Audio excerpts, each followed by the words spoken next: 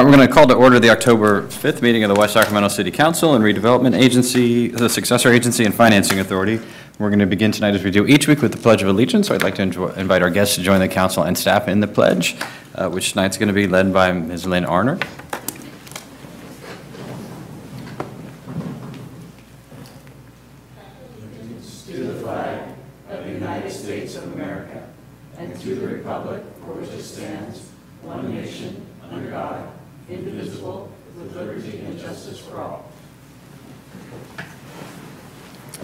The council did meet in closed session this evening to confer with our real property negotiator uh, regarding negotiations with the West Sacramento Area Flood Control Agency, parcel number noted in the agenda, and to confer with our legal counsel regarding one item of substantial exposure to litigation. No action was taken. That brings us to item 1A, which is presentations by the public on matters not on the agenda but within the jurisdiction of the city council. As is noted on our agenda, uh, the council is precluded by state law from voting or having a discussion about items that are brought up under item 1A, uh, but it is an important opportunity for a public forum. We ask that anyone wishing to address the council on item 1A or any other item this evening to please fill out one of the yellow cards that's available near the front door and turn it into the city clerk. In front of the clerk is a timer that we use to make sure that everyone gets a chance to be heard. And so to that uh, end, we ask that all comments be limited to no more than three minutes. Also in front of the clerk is a flip chart, and that simply indicates which agenda item we're, we're currently considering. We take the yellow cards all the way up to the conclusion of the staff report on any particular agenda item. So if we're here to speak on, on agenda item 11 or 12, just be sure to turn in your uh, speaking card uh, before the staff has completed their report on that agenda item. Once the council questions and discussion and the public testimony have begun, we don't take any additional speaking requests. We also recognize that for some folks, speaking in public can uh, cause anxiety and hives and all sorts of other bad things. And so we do ask that there not be any uh, boos or cat calls or even any um, applause or other demonstrations, and we try to maintain a civil discourse here in the chambers. So with that, we have no um, requests to speak under item 1A, so we're going to proceed to item 1B, which is council communications. Are there any reports or other communications this evening? Uh, Mayor Pro Tem Sandeen? Uh, Thank you, Mr. Mayor. The Port Commission met earlier tonight, and we approved a budget appropriation for technical consultation services related to Phase Two of the Yolo Rail realignment project, and we also approved an exclusive ne- negotiating agreement between the Port and Ranch Capital LLC for purchase and development of the Barge Canal property. I also participated in a YOLO LAFCO organized summit on sustainable transportation Yolo County last week, and we heard speakers from UC Davis, Caltrans, Yolo County SACOG, and Yolo County Transit, Transit Transportation District. Um, Our city manager also presented an update of our city's transportation plan and the state of our roads and funding issues related to our roads. And several West Sac staff members participated, including our fire chief and director of public works. Um, I also attended the same day in the morning, the Business Journal's Best uh, Best of Real Estate Projects Breakfast Program, and two West Sac projects were uh, recognized the Park Moderns and Habitat received the Best Residential Project of the Year, and the Washington Firehouse received the Best Adaptive Reuse Project of the Year. Uh, The City of West Sacramento also received commendations from both project leaders and uh, the, for support and staffing excellence of our city team and for our council's vision. So we were called out. Um, It was a really proud moment. Actually, of of the nine projects, four actually were in Yolo County and two were here in West Sacramento. And then um, just a, like a week and a half ago, Councilmember Johannessen and I both attended the Tower Bridge dinner, and another proud time for West Sacramento. There were two, two chefs that I think presented appetizers at the big event, Ernesto Delgado and Chris Jarosz. I always say his name wrong. Um, What is it? How do you say it? Yaros. Yaros, Yaros. I need, I need help with his name. And then two of our farmers, um, the Wat- Watanabes, not Watanabes, and um, also Del Rio Botanical, they also provided um, uh, produce for the evening. And then two of our breweries, Yolo Brewing Company and Jackrabbit. So we had, West Sacramento was nicely represented there. And then finally, um, on Monday, I participated in a discussion regarding uh, Yolo County Champions for Children's Agenda, along with um, Lynn Arner of our Up for West Sac team, and then our first five representative, Francisco Castillo, he co-led the discussion. And we discussed the need for more funding for first five programs and services generally, but we also, and we also spoke with potential funders um, as kind of a first step to talk about programming for um, early education and preschool in the county. And representatives from Yolo County, uh, all the school districts, the cities, the Yochadehi, Wintun Nation, corporations and foundations all participated in the the roundtable discussion. Thanks. Great, thank you. Any other reports this evening? I had uh, uh, two. First, the- at the Sacramento Council of Governments, uh, we announced last week the appointment of our new uh, Chief Executive Officer and Executive Director, uh, and I think I mentioned this at our last, last meeting as well. James Corless from the, from Transportation for America will be starting in April as the new CEO uh, uh, for, for the regional organization, so we're very excited about that appointment. And then, uh, last week, I was at the um, uh, uh, leadership meeting for the U.S. Conference of Mayors in Oklahoma City. Um, And uh, a couple of uh, uh, key items from that meeting. Uh, We had an extensive uh, working session on autonomous vehicles uh, in cities and some, certainly some of the implications, uh, but also some of the design and planning, infrastructure, and finance considerations uh, to be dealt with. And we've talked about this fairly extensively um, at the council, uh, you know, and off and on in, in our innovation discussion, in the charter discussion, and in the uh, general plan review as well. Uh, but actually, a very useful session with uh, uh, folks from the Department, the U.S. Department of Transportation just released um, their guidance on autonomous vehicles, and we also had Seleta Reynolds, who's the head of the L.A. Department of Transportation, and they're quite far along um, in their uh, in their planning. Um, the, uh, you know, the, the- I I guess, one of the constant questions that kept coming up from, from my colleagues around the rest of the country were, so when is, when is this happening? When are autonomous vehicles coming? And, you know, is that going to be in 2022 or in 2020? You can imagine my answer was, they're already here. Um, you know, that, that we have, they started with uh, cruise control, um, but there are plenty of uh, vehicles that are already largely autonomous on the roads today, and that's coming even further. Um, That prompted the LA um, general manager to point out um, that there's a raging debate about, which I was unaware, that the council might be interested in, uh, between, a- around whether or not to focus on the the incremental build towards autonomous vehicles, which is the trajectory that we're largely on, um, or, uh, and that, that, you know, companies like, like Tesla and many of the major auto companies are focused on, um, or the, uh, the leap immediately to what are called level four autonomous vehicles, so those vehicles that don't require a driver, uh, don't anticipate the availability of a driver at all, whereas a level three autonomous vehicle doesn't require a driver, um, but uh, in, in the event that something goes wrong, it can alert the driver, and the driver takes control. Uh, And there is a, but there, which is the preferred approach for the, for the auto companies. They have, uh, you know, widely different implications for safety and also around, well, could you, could you actually count on the human being at that point who's now disengaged? Um, But the implications that we've talked about for parking and for street width uh, are, are, are- were certainly highlighted, and uh, for decisions around road widenings and what to do when you're doing road, road, road repavings for um, markers in the road that can, can assist with the, with the regulatory of autonomous vehicles. And also the ideal areas to begin now uh, with autonomous vehicles, um, the ideal neighborhood types um, and places uh, uh, uh, that to focus on. So some guidance around what, how cities in their, in their general planning processes um, could identify areas that are more appropriate um, than others for different kinds of autonomous vehicles with the, with the recognition, and I think this was universal, across all of, all of the experts that we heard from, that uh, it's, it, that there's, there's really no question that it's an, an an inevitable change, and an inevitable change very fast. Uh, You know, with, with, certainly within this deck, within, within the, within the, the, whatever this is called, the teens.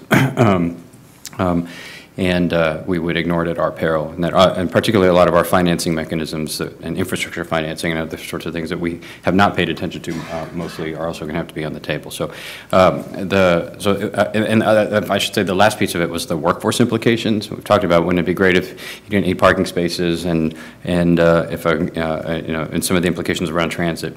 But the potential, um, you know, utter disruption of the, of jobs for um, taxi drivers to be sure, but parking lot attendants, uh, truck drivers, bus drivers, uh, large, large swaths of job classifications all at once. Um, In addition to creating, you know, lots and lots and lots of jobs in the technology and engineering and other sorts of things as well.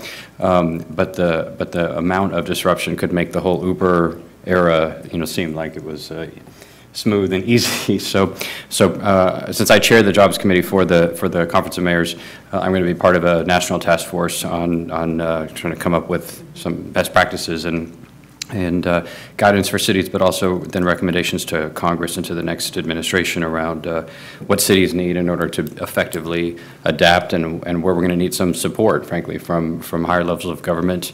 Uh, and also, because the federal government's particularly interested in making sure that an autonomous vehicle that works and functions in California or in West Sacramento can just as, can, can not have to worry about crossing over into Davis or, or, uh, or Nevada and not, and no longer, no longer be legal. Um, And so there's definitely an interest in starting to harmonize from the beginning uh, some of the regulatory uh, regimes. So, long report, but that was a, a very significant issue and one that was uh, a, hi- a, a big focus of the Conference of Mayors. The other one I wanted to highlight, although we, we also heard from the presidential campaigns and had some extensive uh, work uh, that we were doing on water, uh, water quality and wastewater systems, the other major issue is flood. Um, And uh, I pushed pretty hard and got agreement from the mayors that we will, uh, as the, uh, for their support on our, what we're trying to do with respect to the Water Resources uh, Development Act in terms of um, the authorizations of projects that have a chief's report complete, like ours.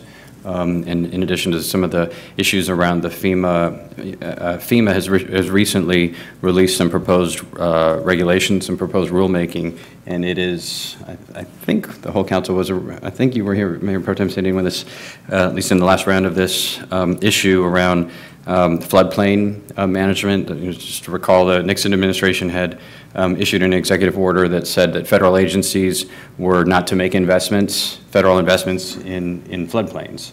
I'm, I'm putting it grossly, but that's pretty much what it said.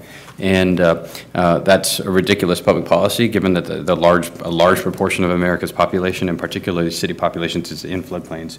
So it was never really implemented in that when President Obama came into office, um, the White House issued uh, an order uh, reviving that executive order, essentially. We um, cried pretty loudly and also engaged the U.S. Conference of Mayors and other partners, and they pulled that back. Uh, The White House pulled that back and, and agreed to take another look um, at the trade-offs associated with saying no investment in in floodplains. And uh, there have been an interagency task force with FEMA and the Corps of Engineers and Homeland Security and us and uh, at the Conference of Mayors and others trying to work through these issues. FEMA, uh, a month, month and a half ago, released its proposed rulemaking on its portion of that executive order that, um, at least in my view, it still goes too far in terms of saying that we're, uh, it's sort of informed by this idea that wouldn't it be great if people just didn't live in floodplains? And therefore, we can reduce flood risk, we can reduce flood risk to human life if we just ignore that people live there now and create all the incentives for them not to live there any longer. And um, that's just a, uh, I mean, obviously for West Sacramento, it's horrible, but just as a public policy, the idea that uh, people, that uh, people will just leave the floodplains and move somewhere else ignores that there are plenty of risks to move to the fire zones or to earthquake areas. There are very few risk-free locations uh, to live. Um, But floodplain managers are really only interested in, in, in in floodplains. And if, if folks were to move out of West Sacramento and the pocket, and downtown Sacramento and other floodplains in the Sacramento region and choose instead to live in Roseville or Galt or elsewhere, the, the impacts on climate change and on sprawl and on air pollution and on physical activity and other things that will also reduce their, their, their, their their health are pretty severe. So we've made this case pretty consistently, but I think this, the, the FEMA rule right now uh, still goes too far. So uh, uh, we got got the, the mayors to agree to weigh in on uh, this. We have not weighed in as a city yet, so we'll, we'll- need to do the same thing. Uh, But to, to, uh, to comment on the FEMA rule, the proposed rulemaking for FEMA, to make sure that, that this doesn't go, it's an appropriate area of focus, that it not go so far as to mean that the federal government can't invest in a hospital in West Sacramento, or levees in West Sacramento, or, or, or highways or streetcar or other projects. So, uh, with that, then, if there's no other reports, item 1C is appointments to boards and commissions, and just, just for the council and the clerk, not intending to make any additional appointments, um, since all we have at this point are alternates, not intending to make any additional appointments uh, prior to, the since all the terms conclude in, uh, after the election anyway, which is only, only a month away. Or I'm- I'm sure the Mayor Pro Tem can tell us how many minutes away it is.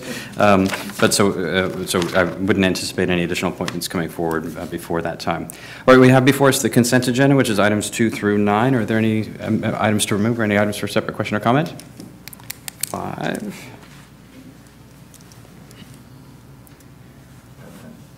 All right.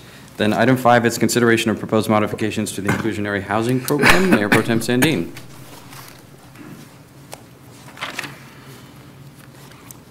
Thank you, Mr. Mayor. I just, um, as I was reading the, the item, I just wanted to understand a little bit more about, uh, I understand simplifying the program, and I, I'm completely supportive of that.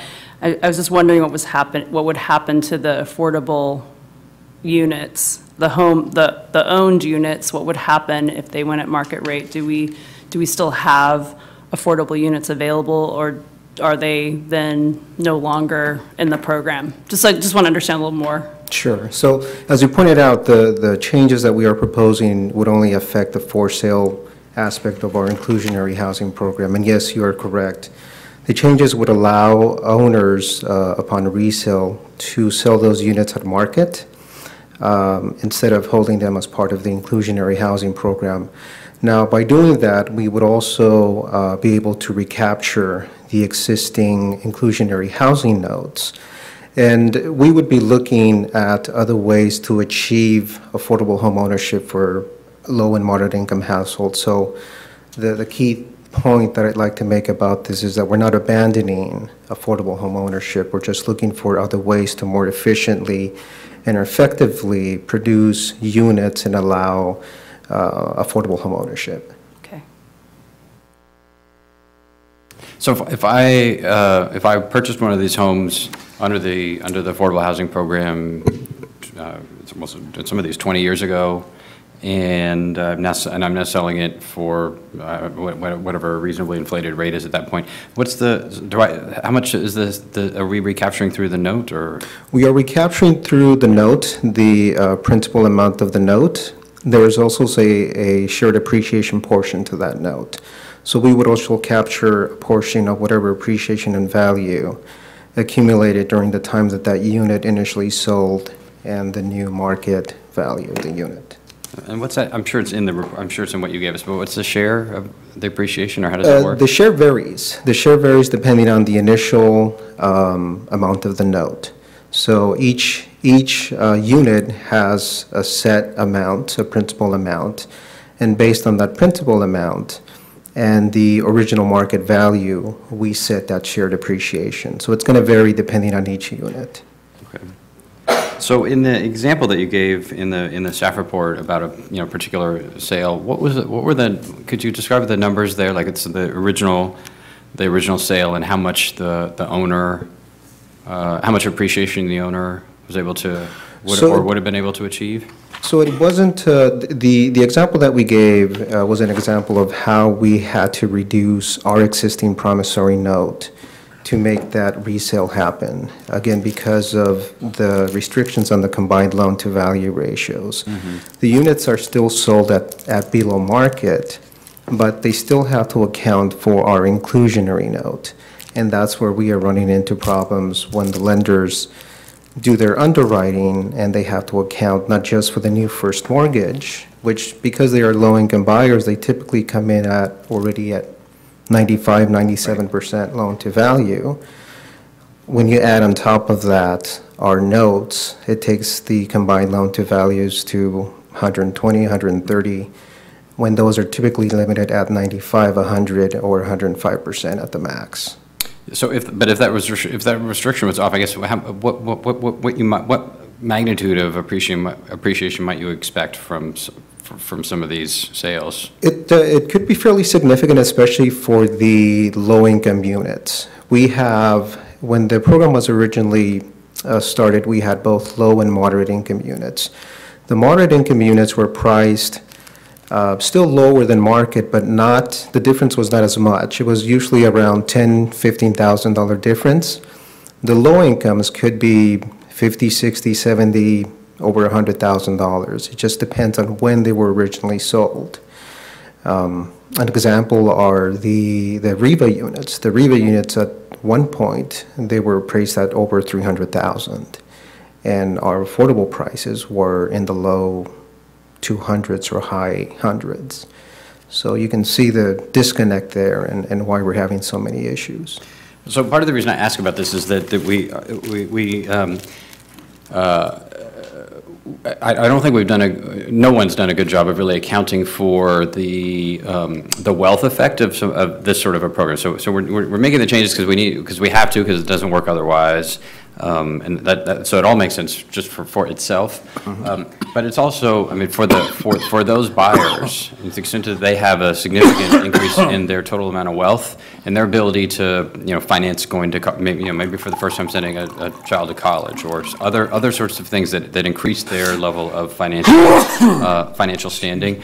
Uh, because it's not part of the uh, affordable housing program itself, uh, we often don't account for that, and we should, um, because it, you know, it is possible that you, uh, in, in in a neighborhood or in a community, that you have a level of poverty that's here in, in, in year one, and a level of poverty that's, that's lower in year 10, and that may be as a result of displacement and gentrification, It may also be that those, those, those poor people from year one are less poor or not poor today, um, And that is, that's actually quite, a that's quite a significant um, improvement. That's quite a, a- a good accomplishment for a public policy intervention. But because our focus is always around, uh, around the, the sort of the proportion of of folks who are in poverty as though it should always be, you know, it's always the same, we, we sometimes miss that. So I hope we're, we are, we're keeping account, not, not, like, not name and social security number, but I'm keeping account of the wealth effects that we are having for families who, uh, who may, who five or 10 or 15 or 20 years ago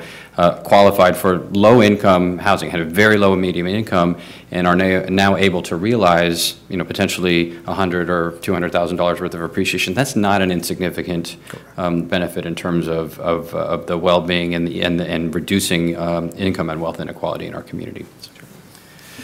Okay, thanks. All right, any other questions on consent? Any further discussions? Is there a motion? I'll second. It's been moved by Mayor Pro Tem Sandeen and seconded by Councilmember Ledesma. All those in favor, please say aye. Aye. Any opposed? Hearing none. That motion carries. Consent agenda is adopted. Item 10 is consideration of Resolution uh, 16-60 for exception to the 180-day wait period for hiring a retiree as temporary extra help employee. Mr. Laurel? Okay, so I'm like the fourth string staff person on this report, but uh, How did this get to You're your always first division? string. I'm- I moonlight as an Are HR there only person. four people in administrative services? So this item is only necessary to be on the regular agenda because of a PERS rule that uh, if it's within within 180 days, you bring back an annuitant, has to be on the regular agenda. So um, Mr. Cars is the subject of this report, and we're- we are hoping to bring him back as an annuitant to work um, mainly on uh, some needs at the port. He uh, is one of the only people that understands the port's intricacies in terms of the electrical system. Um, There's a training opportunity also with new Is there staff. an objection to, is there a motion on this? I mean, you're required to present it under, in, not in a- on a consent item, I suppose, but we're not required to have an extensive, No, right? no, that was that Okay, was it's only moved by Mr. if you and seconded by this. Mr. Ledesma. Thank There's you. no further discussion. All those in favor, please say aye. Aye, any opposed? Hearing none. Motion carries. That had no reflection on your fourth string status on that, by the way. Back to the bench, please. All right. Item 11 is consideration of Resolution 16-56 approving the application for Youth Soccer and Recreation Development Program grant funds for Bryte Park improvements, and Resolution 16-59 approving the Bryte Park Master Plan improvements, mitigated negative declaration, and mitigation monitoring and reporting program, and other actions to implement Bryte Park improvements. Ms. Michael? Good evening, Mayor Cabal and members of the council. Tracy Michael with the Parks and Recreation Department. I'm very pleased to be presenting information to you tonight um, for your consideration in submitting a grant application for funding for Bryte Park improvements, along with a series of other actions for your consideration to comply with the grant requirements. So what I wanted to do is just talk a little bit about the grant. This is a unique one-time funding opportunity from the State of California Parks and Rec Department. Their Office of Grants and Local Services is the one making the Youth Soccer and Recreation Development Program available. The objective of the grant is to foster development of new youth recreation opportunities in underserved communities. The grant funding statewide is um, 26 to 27 million dollars. The maximum grant request is a million dollars per project site. There is no minimum request amount. and the grant deadline is November 1st. So the grant uh, does require that the scope of work include new youth recreation opportunities, so it can't just be refurbishment of an existing type of youth recreation facility. For purposes of this grant, recreation is defined as soccer, basketball, baseball, or softball, only those sports. You also have to demonstrate a 30-year property control from the date the grant's awarded, and the anticipated award dates, um, July of 2017. I included a list of the grant evaluation criteria only to highlight that demographics and community challenges are the top two categories. They assign the most points to the evaluation process, which is important in um, considering which site to focus on for the grant improvements.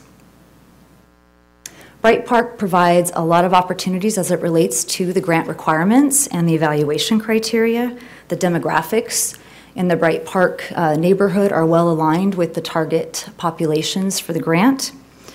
The, there's a focus on um, looking at areas with high youth crime, and over the past two years, which is the time period we're looking at for a lot of the statistics that go into the grant application, 44% of youth crime that occurred in the city was in Beat 1, which includes the Bryte Broderick neighborhood. We already have a master plan in place for Bryte Park that creates that roadmap for future improvements. And um, the entire city uses Bryte Park. So not only do we have an opportunity to make improvements that will benefit the local neighborhood, but also provide citywide benefits. We also have a track record at Bryte Park of completing projects. We had the Disney Kaboom project completed recently. Um, we have phase two improvements underway, and it also demonstrates our capacity to work with the school district on our on joint projects. And that also is one of the challenges with this with this grant opportunity is that the property is owned by the school district, and we have a current joint use agreement in place with the district, a 20 year agreement, and that was approved in December of 2015, so we actually have less than 20 years left on that agreement. To be eligible for this grant, we need to apply for an amendment to that, or we need to amend that agreement. So just um, an update on Bryte Park. As I mentioned, the Disney Kaboom play area was completed, along with new sidewalks, concrete curb, drainage, new ground covering, and fencing along Carey Street. Immediately adjacent to that are Phase 2 improvements, which are anticipated to be underway in 2017. That will include a new restroom building, large group picnic area with shade, drinking fountain, on-site parking to accommodate approximately 40 spaces, lighting and landscaping, street crossings along Carey Street, and a potential new basketball court. We did include one basketball court in the Phase 2 design work, but um, moving forward with that will depend on the ultimate budget when the bids come back in. And looking at the proposed improvements to include as part of the grant application, we, we looked at the eligible uses first of all. We knew we had to focus on youth recreation opportunities. We we had a, a, a master plan, and we wanted to be consistent with the master plan. And we also wanted to look at what we could accomplish with a million dollars to make sure that we had whole recreation components that would generate the benefits that would make us competitive for the grant. We wanted to make sure that we looked at improvements that, if made, wouldn't impede other activities from taking place. So if you were to pursue something in the middle of the park right now, we wouldn't have enough money with a million dollars to make all of the improvements. So any improvement made would hinder the existing uses, which is a, a track and field area. So, um, so based on that, we are proposing two areas for improvement. The first would be on the upper left-hand corner of the, the image, new soccer fields. That is consistent with the Bryte Park Master Plan. The first field would be the largest field, uh, what's called a U19, an age 19 and under field. It's a full-size field that could also be used to accommodate 12 smaller U6 fields for the six and unders, which is really important because right now they've shifted the approach to the younger age groups for soccer. They're required to have smaller teams, which means they have more teams and they need more space for playtime. We also have a second field. It's a slightly smaller U12 field that can accommodate two U8 fields or up to seven smaller U6 fields, so providing a lot of flexibility. As part of that project, we would be removing the dated play structure and the existing basketball court and the picnic table area. In its place, we would also be constructing on the other side of the park two new basketball courts that would have fencing and lighting, possibly play lighting for programmed use only, and then turf replacement with water uh, conserving hybrid Bermuda, which there is a water conservation component to this grant. There is also a community outreach requirement for the grant. Um, It requires community outreach focusing on six target groups, local nearby residents and nearby businesses, community-based stakeholders and nonprofits, our public agency partners, and potential users of the park. It also requires that we report on outreach completed in the past two years. So unfortunately, a lot of the outreach that was done for the Bryte Park visioning and master plan process occurred outside of that window. But out of respect for all of that outreach and, and being careful and not trying to get too far ahead of this grant application process, we came up with um, a couple of approaches for reaching out to the community. One was meeting with community organizations just to share with them this grant opportunity and to revisit the master plan in terms of making sure that the priorities established in that document were still valid. We had on-site discussions with the park users. We have been out there on Saturday mornings, um, meeting with folks who are using the park. And we also created an online survey that had questions targeted for the grant, but also had some more general recreation questions that we hope to be able to use for future grant applications and our park master plan update. It's, uh, we've had the online uh, survey available for a few days now, and we have almost 400 responses so far. So we've gotten some really good feedback that validate the improvements that we are considering as part of the grant, and also the improvements that were identified in that Bryte Park Master Plan. So we have also gotten feedback on some uses that are part of the master plan but are not eligible under this grant strong interest in replacing the existing restrooms, strong interest in a shade structure over the Disney Kaboom play area, strong interest in refurbishing the tennis courts that are located adjacent to the Club West Teen Center. In the city, we don't have publicly accessible tennis courts. You need to be a member of our rec center, and so there's an interest in having publicly accessible tennis courts. We can't, um, we can't incorporate those into this grant application, but we are working on exploring ways that we might be able to move forward with those and would like to come back to council in early 2017 with some funding strategies for those. The joint use agreement with the school district, as I mentioned, was approved in December of 2015. It had a 20-year term, no renewal options, and it actually had termination language that was um, fairly flexible. This grant application requires a 30-year term from the date the grant's awarded, so we actually would need an amendment that accommodates more than 30 years. We are proposing with the amendment to include uh, renewal options, two five-year renewal options, as well as termination language that's consistent with the grant requirements. And the grant basically wants to see, or the state wants to see, that you can't terminate without cause. So in the amendment language, we included cause language that provides an opportunity um, If in- if there's a material breach of the agreement, there's a 90-day cure with appropriate notice, and it also provides the opportunity for the school district to notify the city with a three-year advance notice if they need to use the site for another district purpose. And when we had discussions with the school district at their last board meeting, there were some concerns raised about um, what if the district needs to use the site for another purpose in the future? They don't anticipate that at all, but in the event that should come up, they wanted to see some flexibility built into the amendment language. We have shared the amendment language with the school district, and, um, and based on feedback received from council tonight, we can, we plan to meet with them next week at their board meeting. Um, Environmental, we had initial study and mitigated neg dec prepared to include implementation of the Bryte Park Master Plan. So the scope of work in that document includes not only the Phase Two improvements that will be underway in spring, but also the improvements considered as part of this grant application. It was circulated for 30 days, minimal comments received, and we have um, included as attachments three and four, the mitigated negative declaration, as well as the mitigation and monitoring and reporting plan, plan, and attachment five is the resolution uh, formally approving those documents.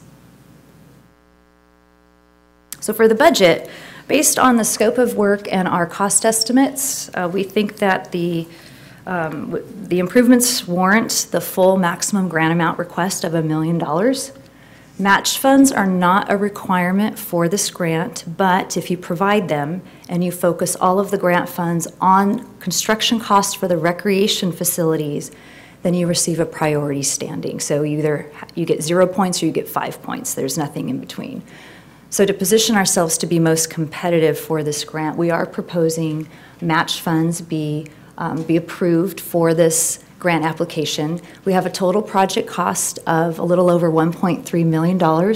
If we receive a million dollars of grant funding, we would need city match funds in the amount of $350,000. So in summary, staff recommends approving Resolution 1656, which approves the application for the Youth Soccer and Recreation Development Program grant funds in the amount of a million dollars, authorizing $350,000 to be used as city match funds for the grant that would come from two sources, the West Riverview Settlement Funds in a not-to-exceed amount of 300,000, and the city ADA work order funds, a not-to-exceed amount of 50,000. Additionally, we recommend authorizing the city manager to approve Amendment 1 to the city school district joint use agreement in substantially the form presented, and also approving Resolution 1659, which is approving the the mitigated negative declaration and the mitigated monitoring and reporting plan for the Bryte Park Master Plan improvements. And that concludes my presentation. All right, then with the staff presentation concluded, are there questions or comments from council? Yeah, I do. Kristoff? Tracy, um, what if the school district doesn't uh, cooperate? And how, how does that work? We are, then we are not eligible for the grant. Okay, so no monies would be appropriated or no monies would be spent um, unless the school district moves forward? Correct. And they had some issues or they had some concerns when you first presented this to them. Um, What were those, what were the issues, other than future use or something else? There was general support to move forward with the grant application, to, um, you know, have this level of investment, to leverage resources to make improvements in Bryte Park. But the, the concerns that were raised were just to make sure that the, um, that the termination language, you know, provided uh, enough flexibility for the school district at some point in the future, that if they needed to terminate for cause, they could. And that was, that was really the, the major issue that was raised in our discussion with the board. Uh, Was it brought up that they would, if there's matching funds that are required for the $300,000, that each entity could put in, uh, we'll say 150? We did not discuss that. Okay, okay. Hmm. Okay, thank you.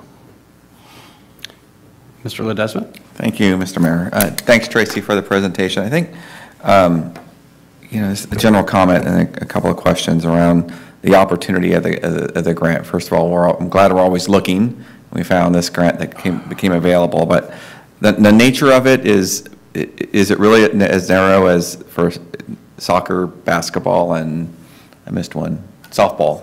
Or Baseball. Yeah. Baseball and softball, right? So is it, is is it really have to stick to that name? Now, now I know based on the, the Bryte Master Plan that we had contemplated, there was soccer fields, kind of re, mm-hmm. realigning them and making sure that the, you- you you know, they were being used for soccer anyway, so making sure that there was a, was a realignment. So this fits into that scope, but it, it it has to be very tightly used for those types of purposes, correct? It does. We had a technical meeting with the state to clarify that, and um, they highly suggested that not only do we focus only on those, those sports, Okay. but that we, we don't even request to use the grant funding for support services like, or support improvements like restrooms. They wanted to see all of the grant funding go towards those specific recreation activity improvements. Which leads to my second question, which is, you know, my, my girls are a little older now, but when they were playing soccer there, there was, the- it's, it's already intensified use because of all the soccer that goes on there, and certainly we know the bathroom situation, but one of the other areas that we've been, we've heard about in the past is just the parking area, which I know was again, part of the, the, the master plan sort of contemplated. Um, So while I'm supportive, kind of, we- look, this is what we had always talked about doing, is being able leveraging funds we have, and- and it's going to have to, we're going to kind of take the implementation of the Bryte Master Plan as we get it. Um, And we have a opportunity to go up to a million dollars, I think, of funding for this, which we've, I think we're going to try to max out. Um, It's just we can't forget those other intents. I, I know you've articulated the other, the restroom and everything else that are on the, I was worried as we, you know, as, as, let's not forget that was part of it too for the, for the neighbors in the area, um, who, you know, parents are parking wherever they can park to get their kid to the soccer fields on time, um, which, which is, it's a great amenity, but we're going to have to kind of keep our eye out for other opportunities to fund that as well. So that's the only question I had. Thank you. Mr. uh, Mr. Johannessen? I, I just have a comment. Um, I could make, oh, yes. Uh, So, yeah, I just wanted to, to emphasize, I know there's a lot of folks that are looking at uh, the groupie money. You know, over the course of time, we've talked about how to, how we can use that to do more with that money than just what's in that fund. And so this is an example of using potentially just 300,000 of those funds for a $1.3 million project. So, and I know more of these are going to be coming along, but um, I think that's, uh, bears to be emphasized. Mayor Pro Tem Sandeen? Thanks, and that was a great segue, because my question's actually about the, the balance of the groupie, groupie fund. So if, and I know we were just given a memo on this, but how much does that, what's the balance then that we would have to leverage, potentially leverage or use? If we use the full 300,000, which is a not-to-exceed amount, so our goal is to try to get under that if we can, Right. you'd still have 2.358 million left. Great, okay, thanks. Yeah, thanks for the, the, the the comment and the question on that, because the, uh, is, is your estimate of the 350 Conservative.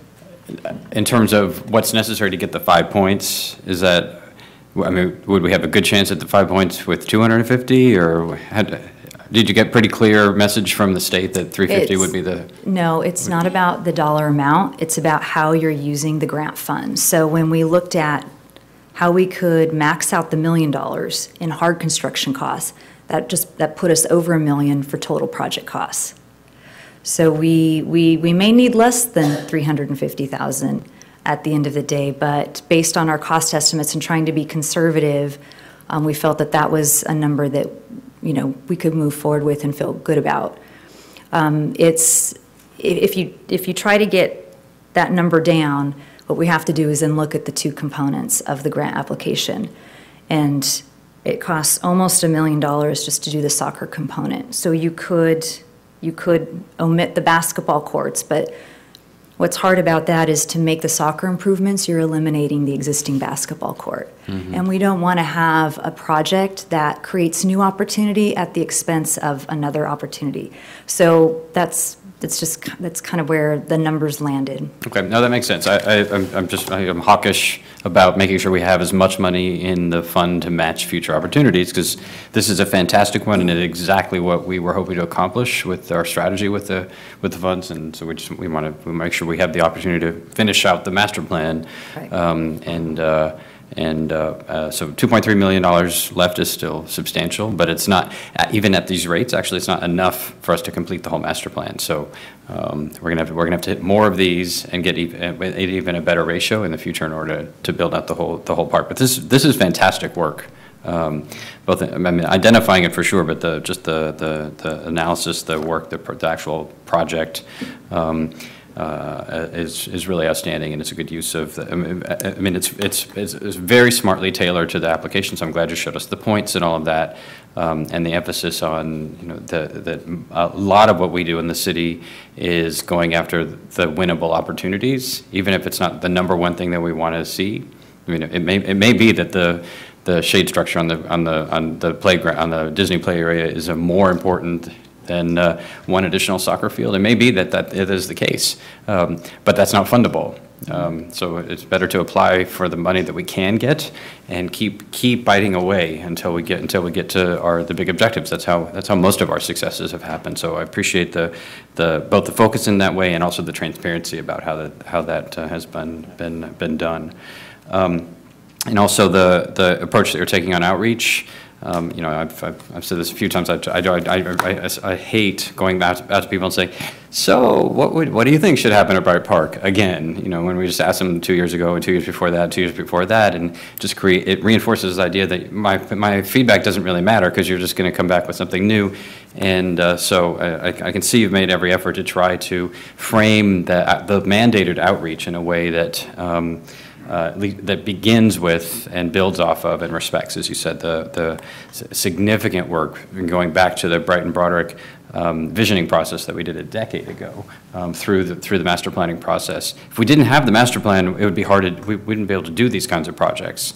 Um, uh, And I think it is important for folks in- who've, who've worked so hard on that, on that plan to realize that in the absence of a master plan, I mean, other communities can't apply for this money because they don't know what they, they don't know what they want to build, how much it costs, what it would take to maintain, and we do because we have a complete master plan that brings it all together. Um, And then uh, Mayor Pro Tem Sandeen and I both, we talked about this with the school trust, school board trustees at the last two-by-two meeting, and uh, Just want to acknowledge the super, the strong support for this from the superintendent, uh, Linda Luna, and from both of the trustees that are on the two-by-two, uh, Katie Viegas and Sarah Kirby Gonzalez, who at that meeting, after hearing your presentation, um, were very strongly committed to advocate for, for, for this at the, at the board.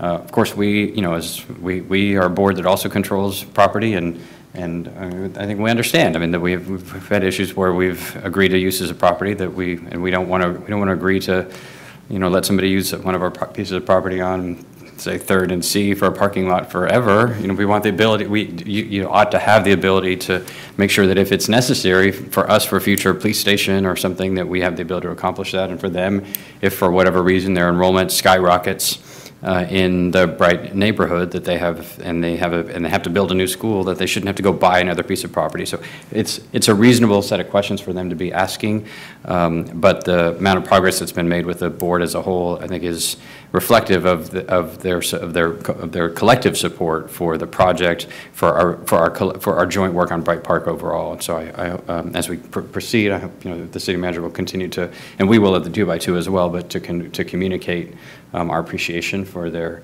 uh, for their enthusiasm and, and it- and not, not, uh, and willingness to keep collaborating to try to, uh, you know, brute force these improvements one at, one at a time and, and doing what it takes quickly in order to, to be competitive for these outside funds.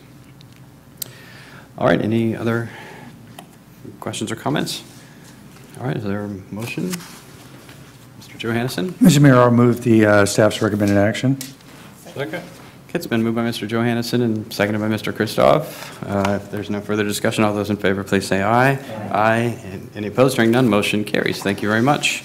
Item 12 is consideration of a workshop on parking strategies for the Bridge District. Mr. Doherty? Good evening, Mayor and members of the City Council. Uh, Chris Doherty, Public Works Department. Uh, The item before you, uh, in front of you this evening, um, Chris, sorry, sorry, um, is a workshop on the parking strategies for the Bridge District. When the initial developments in the Bridge District were were constructed, the projects were allowed to meet some of their parking requirement on-street uh, to incentivize development. Uh, This was intended to be a short-term solution until uh, the parking, until new parking facilities were constructed in the district. To facilitate the on-street parking, the city enacted the residential permit parking program, Area C. This allowed city staff to track and manage the on-street parking spaces associated with these developments. The nature of residential parking is that it is long-term storage of vehicles um, overnight and for long periods of time. While this strategy met the early needs of the- the the developing district, uh, this has left uh, limited availability for short-term parking for the emerging commercial and bridge uses in the in the bridge district. To address this issue, staff is recommending a multi-pronged approach to transition the on-street parking from the long-term residential vehicle storage uh, to short-term parking that serves the current and future commercial uh, uses in the Bridge District. These recommendations, there are three recommendations in front of you. Uh, The first one is to um, allow the residential permit parking program Area C to expire when it naturally is supposed to expire in March 31st of 2017, and to not renew the permits. And um, to concurrently finish the construction of a new interim surface parking lot uh, on the Weyerhaeuser parcel uh, at Fifth and Bridge Street. Staff is currently working um, to process and design that project. Uh, Item two of this evening's consent ca- calendar item um, addressed the need to expedite the, uh, the the building and the design of that, of that parking lot. If any anticipated, unanticipated, excuse me, uh, delays occur in the construction of the parking lot, staff will return to city council to seek uh, direction for uh, interim solutions. Highlighted in red here would be the location of the, the Weyerhaeuser lot. The second recommendation is to re-sign the remaining streets to the following. Uh, Garden Street, here highlighted in yellow, uh, would be uh, reverted, or would be just two-hour parking, uh, but removed the exemption to the um, residential permit parking permits. Uh, And then would also, it would be then free parking from 10 PM at night until 8 PM in the morning, unrestricted parking. Uh, The remainder of the streets here highlighted in purple uh, would be limited to 90-minute parking, uh, and then would be um, unrestricted, again, from 10 PM until 8 AM. And then the, uh, to deploy parking meters throughout the district, uh, mostly in the areas of purple. Um, Staff is still researching the type of parking meters and the, the type of um, meter itself that we would, that would best suit the city's needs. Uh, There are a lot of different uh, regimes and hardware available uh, right now, Uh, and we anticipate that we'd be coming back to city council at a later date with uh, more information to make that decision. And the final recommendation um, is to uh, ensure that there's a proper mechanism for visitor parking for the residents of the area to um, remove the current visitor pass regime that we are using and move to a self-print program uh, that would allow the residents in the area to use a visitor pass as, as they need to, but also for the city to monitor and make sure those are not being overutilized and, and undermanaged. So this concludes my presentation this evening. I'm available for any questions you may have. Are there questions at this time? I'd point out, we're, we're we're dealing with this in the, in the Bridge District. This is, a- this is uh, uh, largely, though, our, our first um, on-the-ground implementation of our entertainment zone um, parking, you know, how to deal with parking in the new development areas that don't have, that, that um, are, that aren't, where there's not four-car garages and four-car driveways. um, that, but, but, but are not uh, subject to residential permit parking because they're, they're not, they, they they didn't exist prior to the, to the uses that are generating parking demand. So uh, the- what we're trying, and part of, part of, part of what this effort is, is try to figure out what the, what's the right regime for Pioneer Bluffs and for, um, for other parts of the entertainment zone as well. But this is the one that's live. Mr. Ledesma? Thanks, Mr. Mayor. Um, Thanks, Chris, for the presentation and and bringing this back. First of all, on the recommendations, these aren't, these aren't, the way they're presented, these aren't separate of each other. There's three ways to view parking concurrently, they could be correct, just to clarify. Yeah, each, each recommendation can stand on its own, but Correct. they work very well together Together. as one regime um, to be implemented at one time. Right, and I think it's just the, the what nature of how it's presented makes it sound like you have one of three choices, when in fact, we want all three, we, right? So. Correct. But, but, or we may want all three, but which, which is what I want, actually. So I, I appreciate the, the work on this. I know we talked about this a few weeks ago, and sort of laying the groundwork of what this, what this might mean, because it has been a bit confusing for residents and, um, and, and maybe our approach to the parking while early into the Bridge District's um, formation and build-out, um, y- you know, we're, we're trying to send, trying to, to get the right uh, balance of accommodating um, residents and their visitors, while also make, planning for uh, actual commercial activity, as, as, you know, I see uh, dirt being moved in for the River's Edge project, and, and you see other activity that's happening around the barn, and that, and that, and we- that's what we want. So um, having this conversation now and being very clear about the direction we want to go as we go to implement is going to be, uh, from, uh, is going to be important. On, on um, recommendation one, on part one on this, um, it's just a language thing. I think we talked about this a little bit before, but around the, par- the parking program is, we're- we're just going to let those expire. There's, there's not even opportunity to renew.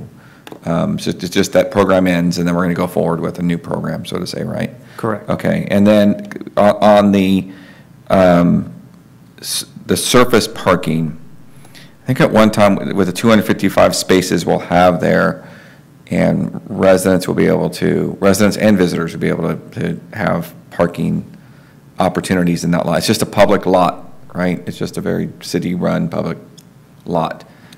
But will there, will there be opportunities for residents to, you know, reserve a spot? Would there be reserve spacing in there? Would that be, is that, Yeah, we could, we could, um, with the, we could build a regime where the residents could definitely reserve a spot in there. Plus, um, it'll have sufficient parking for um, short-term uses as well. Okay. But with the availability of all the street parking around there, also ideally metered, um, would free up all the needed parking for that area, um, at least for the short term. okay? But if I could, I mean, to clarify, that's a paid parking lot, so that'd be for hourly and and No, I- somebody get a, No, I, I understand. Okay. Yeah. It, I, understand that part. I just want to make sure that residents that are, that maybe are paying for that in advance or whatever, that, that- they have that opportunity. Because if there's a big event going on, then, you know, do they have a spot that they can get back to? Um, on, on the other part, in, in, in, uh, uh, part two of this, um, the, the 10 PM to 8 AM, um, available time, and it- and I think I asked this question before, but it's consistent with what occurs um, on, on typical urban parking, it's just open, we, I know the city of Sacramento is now going paid park until, I think it's 10 o'clock now, correct? Yeah, So we're being consistent, so that there's no, from an experience standpoint, it's similar, right? Yeah, we are, we chose the 10 o'clock um, um, level because of the River Cats parking around there. We didn't want it to affect the River Cats parking in the, in the lots. Okay. But yeah, to have it, um, to have it unrestricted overnight is very similar to other regimes in other urbanized areas. Okay. And then, um, on, on item three, I think as we get into, um, the visitor passes and, and the opportunities to, um, self-print, the self-print system that that presents. Um, How, I mean, uh, uh, again, I'm kind of thinking, I'm not, it has to work for everybody.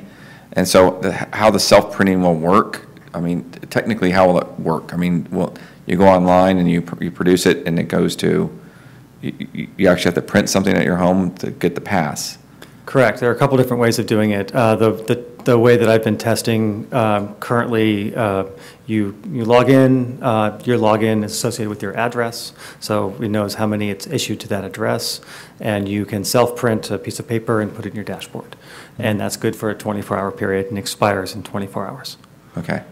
And for, and, and is there an alternative way to get those passes? Do we come to City Hall to get them? For those that may not have a printer, that's what I'm thinking of too. Sure, we could make some accommodations for that. I just wanna make sure We we- could put a kiosk um, at, at City Hall or something to that Okay. effect. Okay. Those are my only questions for now, but thanks for bringing this back. Okay, Mr. Johannessen? Yeah, just to follow up with uh, Councilmember Ledesma, on the, on the self-printing, uh, are there safeguards against forgeries? Creating your own and sticking it in your, day. I don't know, you know, if that's going to be an issue, but it seems like there's um, some issue there unless there's a a scan or uh, something that someone could confirm that it's original. Yeah, we could look into that to see if there's some kind of unique code that could be scanned to see if it's been, been duplicated. Yeah, I mean, I I don't know if that's going to be an issue, but, you know, if it's a 24-hour pass, Yeah. why not try and create one? Mayor Pro Tem Sandeen? Yeah, Thank, thank you for the report. I, um, I know when we were talking about parking in this area, we, we knew that there, we knew we were going to come back and look at it, and we knew that, that we're going to learn from kind of organically watching what was happening. So um, I, I don't feel uncomfortable, you know, I'd like, I would like, as, as uh, Councilmember Ledesma mentioned, I would like for us to come to some resolution so that it can be kind of understandable and, and that we, we've gotten the best solution that can last for some time. I just have, just a couple questions to understand the kind of extent of the problem we're solving. Um, And one is, how, how many permits are there now, um, residents? Because I'm, if there are more than 255, we might have a problem. I don't know if we, how many we are out there right now.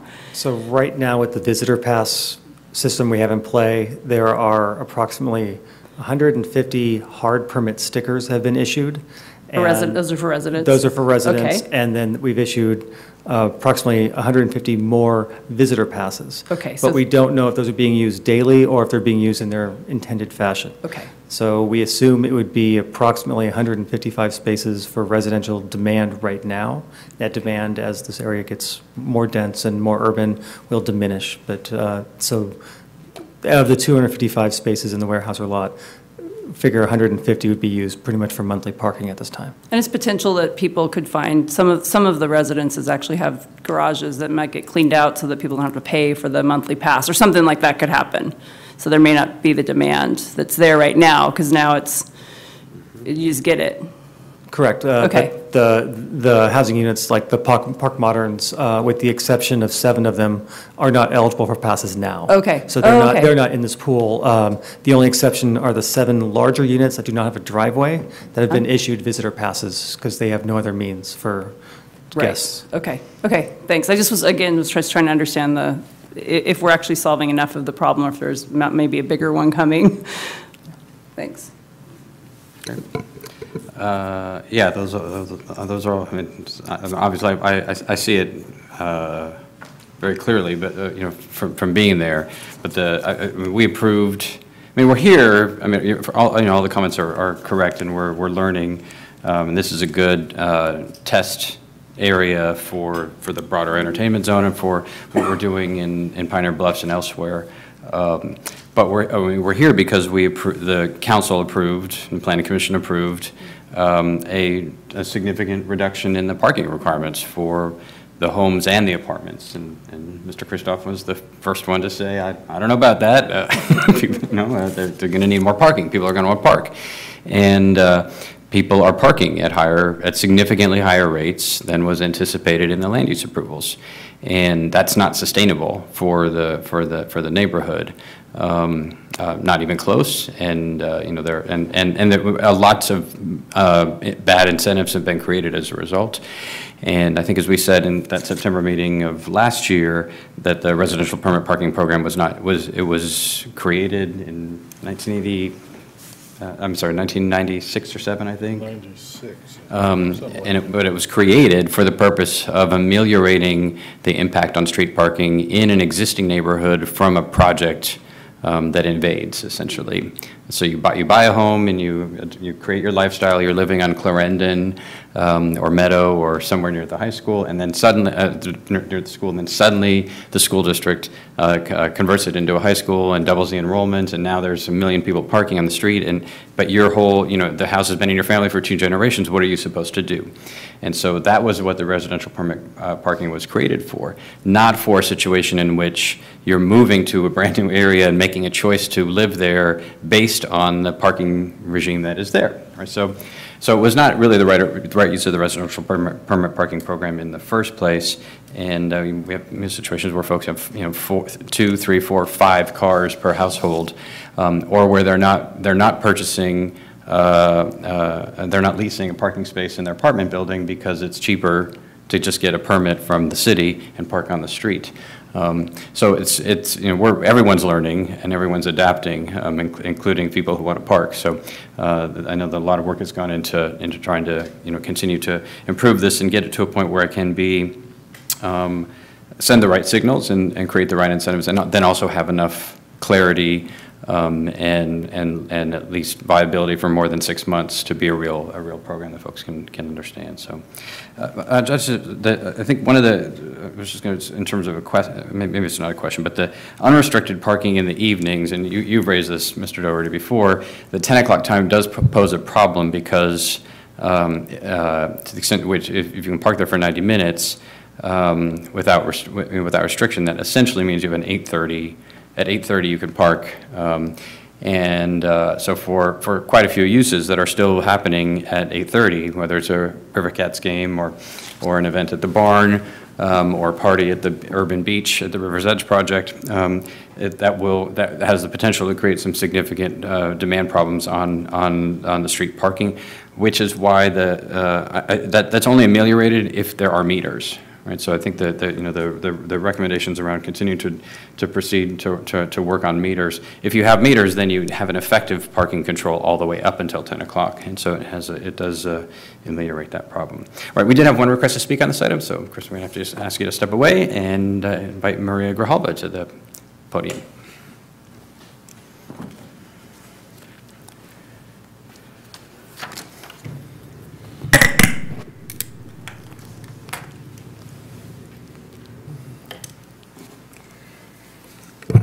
My que,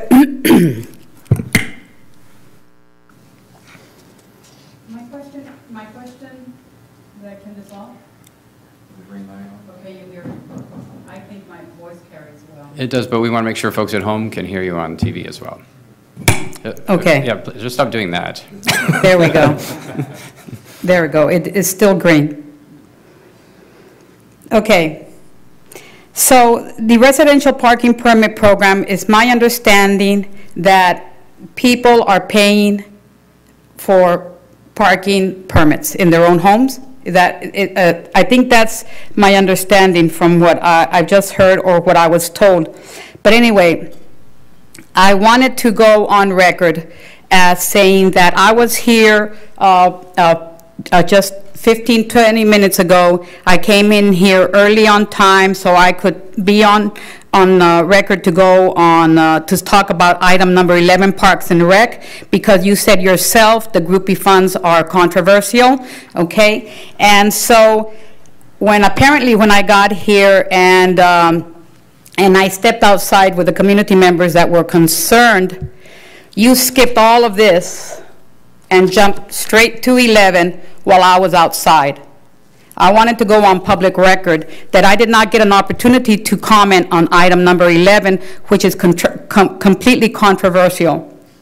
It's my understanding, and that was part of what I was going to ask you, is if it's true that 65% of the Phase 1 construction So ones we're- went we're- towards We've a... completed with that item. We're now on item 12. Isn't that convenient for you? Well, did uh, you no. know I worked for the state for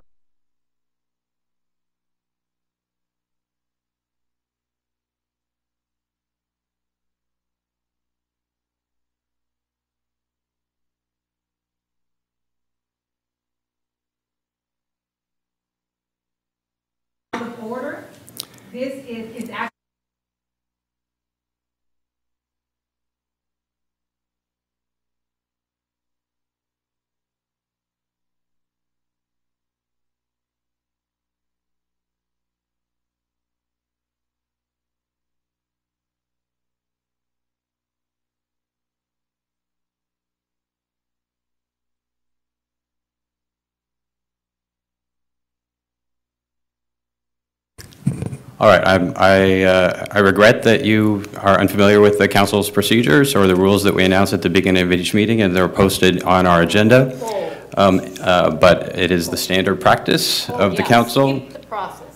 We may have to vacate the room at, at a- in a moment, but uh, it is the standard procedures of the council, and has been for several years, for more than a decade, with respect to the speaking times. So those who were in, who were present at the time of the meeting had the opportunity to speak, uh, and we did not receive a speaking request in time for that, for that component. So anyway, uh, we had no further requests on item 12, so are there any further discussion or questions on the parking item?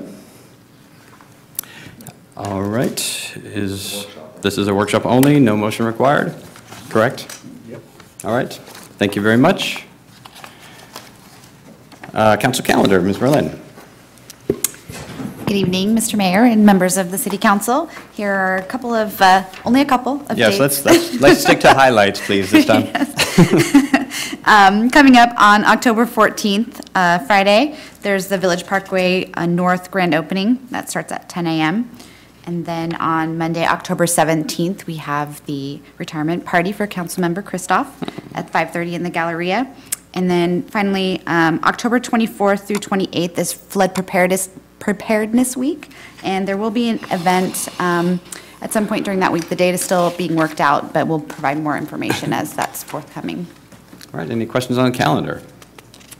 Seeing none, city manager report? Uh, Mayor and council members, at the last meeting, we reported the WRDA bill. Uh, uh, was approved by the Senate. Last uh, Friday, it was approved by the House on a 399 to 25 vote. And so now that bill, which includes RGRR for our levee project, is uh, going to the President for his, his- for his consideration. Um, The Y shuttle, uh, Councilmember Ledesma did not mention it in his comments, but the Y shuttle was operating last night. uh, uh, Went very smoothly. The ridership was light, but we're monitoring it tonight and the next uh, several activity, or events at uh, Golden One Center to see how that goes. Uh, On our end, there's no traffic problems reported uh, to this point. And then finally, uh, Mayor Pro Tem Sandeen mentioned the Business Journal uh, Awards in addition to Park Moderns. The uh, Firehouse did get the award. The latest is we hear that Burgers and Brew will open uh, for business middle to late of next month. All right, any questions on the city manager report? City attorney report? Staff direction from members of the council? Seeing none, we have no future agenda item requests. So Is there a motion to adjourn? Mr. Johannessen moves and Mr. Ledesma seconds that the council be adjourned. All those in favor, please say aye. Aye. Any opposed? Hearing none, motion carries. Meeting is adjourned.